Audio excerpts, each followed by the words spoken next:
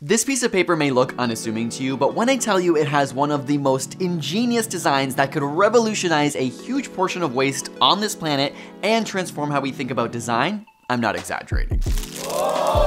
And while this transformation may not seem that extreme, I'm about to explain why it is. You've probably heard of origami, the traditional Japanese art of folding paper to create shapes and figures, but beyond even that, it's now being used in science to create robots and mechanisms that bend and modify in brilliant ways. Now, kirigami is origami's lesser known cousin. It's simply a variation that allows you to use cuts in the paper, and these cuts can help to produce some really magnificent 3D shapes as well, including those cards, you've probably seen that pop up with complex designs when you open them. But what makes Kirigami so special is that it allows you to deploy three-dimensional shapes from flat material without the need of complex folding. And when you have brilliant minds discovering the right shapes and cut patterns, the implications can be massive. My name is Tom Corrigan. I'm a scientist and engineer at 3M Company. Tom's too modest to say he's the genius mind behind this pattern in 3M's Scotch Cushion Lock, which started out as a quest to create a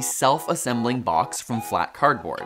Such a cool idea, which hasn't been realized yet, but in the process of experimenting with kirigami shapes and designs, they realized they may have something that could be applied to revolutionize packaging and waste. So I literally would sit with paper and a razor blade and a sheet of paper and I would I would be like, what happens if I cut something like this? What would it do? And I'd be like, oh, that didn't work. Oh, that's interesting. This was one of the early patterns that I did. This sort of pops up and it sort of absorbs a little bit of energy, but it doesn't absorb a lot. I mean, I made hundreds and hundreds of patterns. What I knew I wanted from a, as a mechanical engineer is I wanted to get a piece of material and I wanted it, I knew I wanted it to be like vertical. I wanted a vertical wall because a vertical wall as like a column is like so much stronger. Now, we all know the planet has a plastic problem. It's an amazing material that's incredibly versatile, but we use it in almost everything, and often in single-use form. If every single person on the planet stepped on a scale, the weight of our plastic is about 26 times heavier.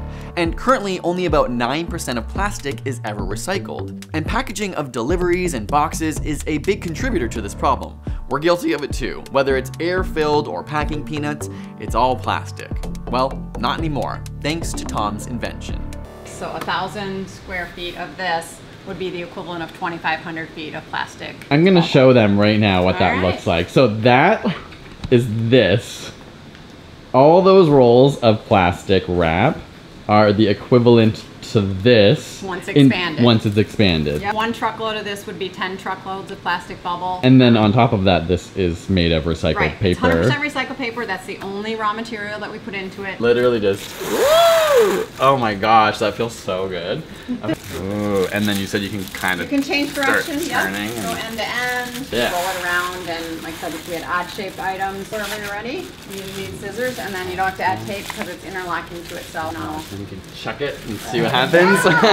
the main design goals outside of the environmental factors were to optimize on strength and stiffness so that it could maintain its shape when deployed, conformability so it could wrap around objects, as well as maximizing the volume it would take up when deployed in order to absorb as much energy as possible. And of course, having it start flat with the ability to pop open reliably with minimal tension. After much experimentation, Tom and his team decided to take advantage of the honeycomb shape, which is widely used when a strong, stiff structure is required with minimal weight. This is the basic, what we call the basic folding wall kirigami pattern.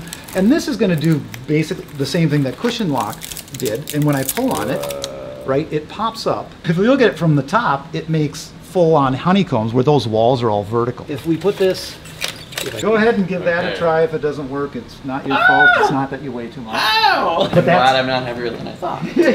But how can you cut a flat sheet of material such that when you apply tension, it just magically pops up and does it? That was the, the thing. The small slits in the design are what give it its mobility. And another clever design trick was these little finger-like cutouts. Not only can you optimize on height by removing a little from one area and adding it to the other, but when wrapped around itself, these edges grip onto each other, interlocking and allowing the cushion lock to self-adhere without the need of tape or glue, minimizing even more waste. One of the really exciting things I think about kirigami is that it does scale. It sort of depends on the thickness of your substrate. If this sheet of material was an inch thick, you might need to have two, three, four, five, 20 inches you know, kind of the scale Right. of stuff just to get it to be able to deploy. But otherwise, there's no, there's fundamentally no limit. So there you have it, a seemingly simple yet profoundly impactful design that's not only already having a major impact on the packaging world, but has implications for future uses as well as research into Kirigami. I want to send a big thank you to Tom and Marsha for sharing their brilliant minds with me and to 3M for sponsoring this video. It's always amazing to see simple, innovative ideas that are shaping our world, and I hope you found it as interesting as I did. Thanks so much for watching. Make sure you like the video and subscribe, and we'll be back with more science ASAP.